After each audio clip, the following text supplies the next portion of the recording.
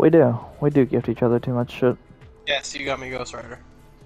Yeah. I literally said I wasn't. I wasn't even saying it to try and get somebody to get it for me either. I just simply said if I don't end up with Ghost Rider by the end of today, I'll never play Fortnite again. By fucking god, I was not gonna play Fortnite ever again. But then you know, Infinite Major Galaxy. yeah, that bullshit.